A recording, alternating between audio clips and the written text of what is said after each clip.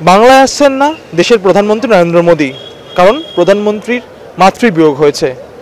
মঙ্গলবারই প্রধানমন্ত্রীর মা অসুস্থ অবস্থায় হাসপাতালে ভর্তি হয়েছিলেন এবং তার পরবর্তীতে বর্তমানে আজকে ঠিক ভোর সাড়ে তিনটে নাগাদ প্রাণত্যাগ করেন নরেন্দ্র মোদীর মা এবং সেই কারণেই সরাসরি আজকে সকালবেলায় আহমেদাবাদের উদ্দেশ্যে রওনা দেন নরেন্দ্র মোদী। ঠিক সকাল আটটার সময় পৌঁছে যান আহমেদাবাদে। এবং তার পরবর্তীতে আনুমানিক সকাল নটায় নরেন্দ্র মোদী তার মায়ের শেষকৃত্য সম্পন্ন করেন। এবং এই কারণেই বাংলায় তিনি আসছেন না।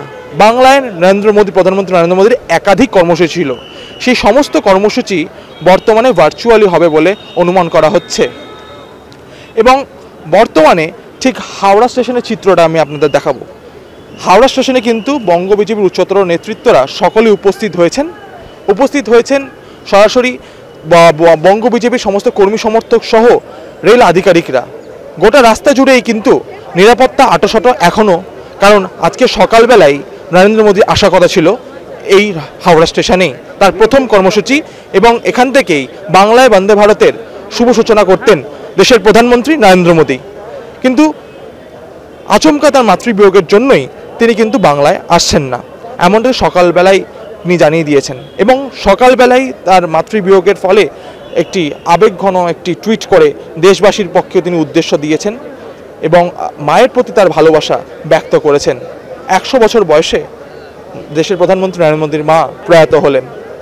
এবং আজকে যে সমস্ত কর্মকাণ্ডগুলি বাংলায় ছিল, একাধিক কর্মসূচি ছিল, সেই সমস্ত কর্মসূচি কিন্তু বর্তমানে ভার্চুয়ালে হতে পারে, এমনটাই অনুমান করা হচ্ছে। যশস্বী প্রধানমন্ত্রী শ্রী নরেন্দ্র দামোদর দাস মোদিজির মাতৃবিয়োগ আমাদের কাছে অত্যন্ত দুঃখের। মাতৃবিয়োগ ওনার হয়েছে কিন্তু সমস্ত দেশবাসী আজ প্রত্যেকেই হয়তো কম বেশি আড়ালে অন্তরালে চোখের জল ফেলছেন। কিন্তু দেখুন, এটা তো একটা সরকারি প্রোগ্রাম। তো এই সরকারি প্রোগ্রামকে কোনোভাবেই স্থগিত করা যায় না। এত মানুষের আশা, এত মানুষের উত্তেজনা তো এই উত্তেজনা, এই আশা, এটাকে নরেন্দ্র মোদীজি আমাদের দলের তো প্রধানই, দেশের প্রধান সেবক। এছাড়াও আমরা যেটা আমাদের দলের যেটা ভারতীয় জনতা পার্টির যেটা মূল বক্তব্য, আমাদের সকলের আগে রাষ্ট্র। আমাদের ব্যক্তিগত আবেগ, আমাদের ব্যক্তিগত শোক, দুঃখ, আনন্দ যাই থাকুক না কেন আমরা সবার আগে প্রাধান্য দেব এবং দল এবং আমাদের যিনি প্রধান সেবক দেশের, ওনারও তাই নির্দেশ আছে, সেই নির্দেশ অনুযায়ী রাজ্য নেতৃত্ব এবং আমরা সকলেই তার পালন করছি। এটা খুব দুঃখের যে আজকের দিনে এরকম হয়েছে। কিন্তু এটাও ঠিক, নরেন্দ্র মোদীর নেতৃত্বে যে উন্নয়ন যোগ্য চলছে, সেই উন্নয়ন যজ্ঞে উনি আজকে হয়তো ফিজিক্যালি এখানে আসতে পারছেন না। কিন্তু মানসিকভাবে তো আছেন এবং ভার্চুয়ালি যদি যুক্ত হতে পারেন, আমরা সবাই আনন্দিত হব। কিন্তু ওনার নেতৃত্বে যে কর্মযজ্ঞ চলছে, সেটা তো অব্যাহত আছে, অব্যাহত থাকবে। সুতরাং হাওড়া স্টেশনে কিন্তু যা কর্মসূচি ছিল, অর্থাৎ বাংলায় বন্দে ভারতের শুভ সূচনা, সেটা নির্ধারিত যার সময় ছিল সাড়ে এগারোটা, সেই সাড়ে এগারোটার সময় হবে।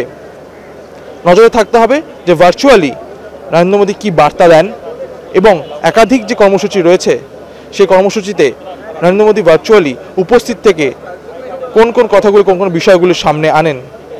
তবে মোদী নেই।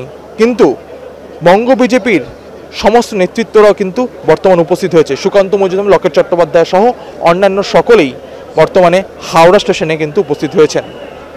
ক্যামেরায় অমিতের সঙ্গে সৌভিক, সমাচার প্লাস বাংলা, কলকাতা।